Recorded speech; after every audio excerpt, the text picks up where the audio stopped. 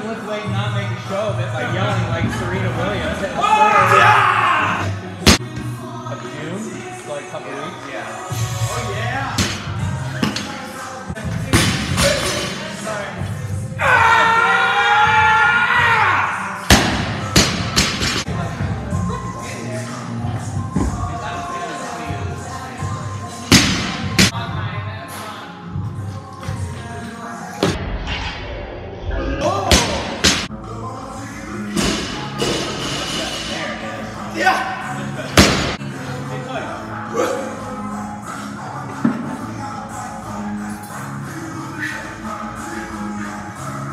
Amen.